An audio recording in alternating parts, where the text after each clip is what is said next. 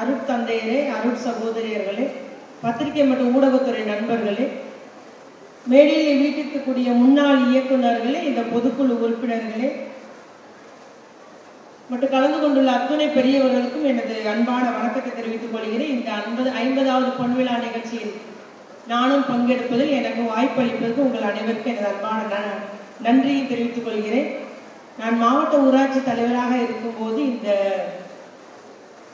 டிஎஸ்எஸோடு இணைந்து பணியாற்றியவள் என்பதை நீங்களும் அறிவீர்கள். தூத்துக்குடி மாவட்டத்தில் ஒவ்வொரு பகுதியிலும் புதியதாக மகளிர் குழுக்கள் உருவாக்கப்பட்ட போது தொடக்க நிலையிலே அதை எப்படி பணியாற்ற வேண்டும் என்று அந்த மகளிர் குழுக்களுக்கு பயிற்சி கொடுத்தவர்கள் இந்த அமைப்பு தான் கொடுத்தது. அதுபோல ஒவ்வொரு கிராமம் கிராமமாக போய் அந்த குழுக்களை உருவாக்கியதும் இந்த அமைப்பு தான் உருவாக்கியது என்பதை தொடக்க நிலையில தூத்துக்குடி மாவட்டத்தில் மகளிர் குழுக்கள் உருவாக்கப்பட்டது என்றால் டிஎஸ்எஸ் அமைப்பின் மூலம் தான் தொடக்கத்திலே உருவாக்கப்பட்டது என்பதை நான் இங்கே நினைவு கூற விரும்புகிறேன்.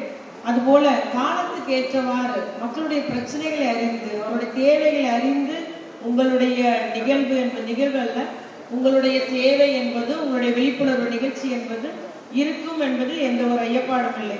திடீரென நான் ஒரு நாள் எனக்கு ஒரு நிகழ்ச்சியில கலந்து கொள்ளுங்கன்னு கூப்பிட்டாங்க. அதுல என்னன்னா போதைக்கு அடிமையான கணவனை எப்படி நம்ம கையாள வேண்டும் என்ற ஒரு கூட்டம். ஆச்சரிய எனக்கு போனது ஆச்சரியமா இருந்தது. அது ஒரு ஃபார்மல்லாம் ஒன்றும் கிடையாது. அந்த தலைமை வைத்தவங்களும் ஒரு போதைக்கு அடிமையான கணவர் ஒருத்தருடைய மனைவி தான். மிகவும் ஒரு எனக்கு ஒரு டிஸ்கஷன் போயிட்டே இருக்குது இவங்க ஒரு கருத்து சொல்ல அதுக்கு ஒரு கருத்து சொல்ல அப்படி இந்த மாதிரி நானும் அதில் கலந்து கொண்டேன். என்னுடைய கருத்தையும் அதில் பரிமாறிக்கொண்டோம். ஆகவே அந்த அளவுக்கு நம்மளுடைய அமைப்பு என்பது மக்களுடைய பங்கேற்போடு அவர்களுடைய தேவைகளை அறிந்து அவருடைய பிரச்சனைகளை அறிந்து அவர்களிடமே இதற்கு தீர்வு என்ன இருக்க வேண்டும் என்பதை அறிந்து செயல்படக்கூடிய ஒரு அமைப்பாக இந்த அமைப்பு ஐம்பது ஆண்டு காலமாக நடைபெற்று வருகிறது. நான் எங்க போனாலும் சரி எங்க ஊர்ல டிஎம்எஸ்எஸ்ன்னு இருக்குது. தூத்துக்குடி மல்டிபர்பஸ் சேவை சமூக சேவை சங்கம் என்று இருக்கிறது.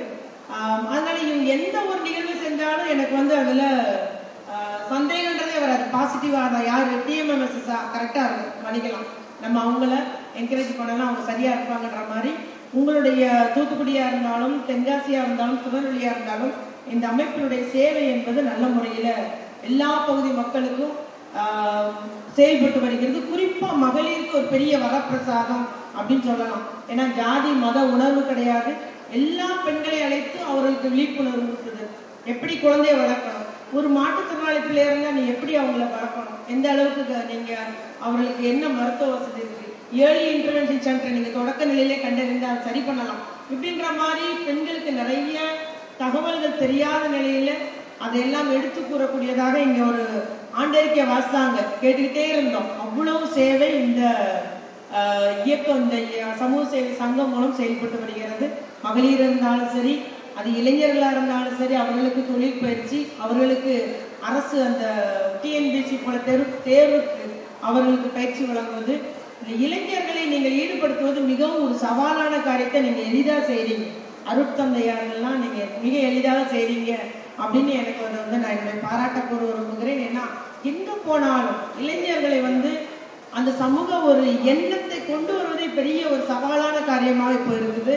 அதனால நீங்க எங்க போதை போதையில் இருந்து அந்த இளைஞர்களை மீட்டெடுப்பதிலும் உங்களுடைய சங்கம் செயல்பட்டு வருகிறது. ஆகவே நீங்கள் தொட்டா தொடாத ஒரு துறை இல்லை. எல்லா துறைகளிலும் எல்லா தரப்பிலும் ஏழை எளிய மக்களின் வாழ்வாதாரத்திற்காக அவர்கள் எதிர்கால தேவைகளை அறிந்து அவர்களுக்கு நல்வழிப்படுத்தக்கூடிய ஒரு அமைப்பாக கிட்டத்தட்ட இங்க ஆண்டறிக்கையில் சொன்னாங்க. ஐந்து இயக்குநர்களை கொண்டு நூறு பணியாளர்களை கொண்டு நாங்கள் நல்ல முறையில செயல்பட்டு வருகிறோம் என்று.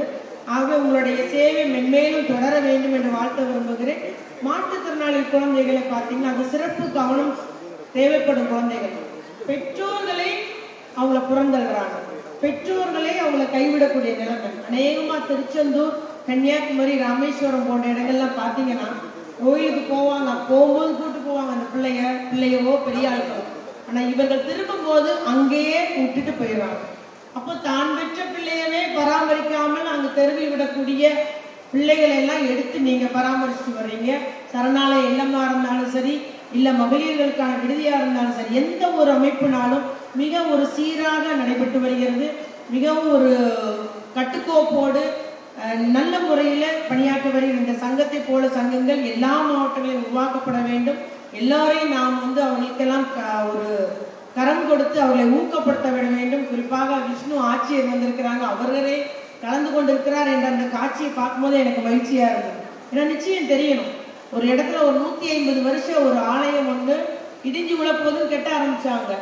உடனடியாக அந்த ஆலயத்துக்கு நூத்தி ஐம்பது வருஷம் ஆலயம் அங்கதான் இருக்கு. இங்கிலீஷ்காரன் கட்டி கொடுத்துட்டு அவன் போயிட்டான் ஊரை விட்டு.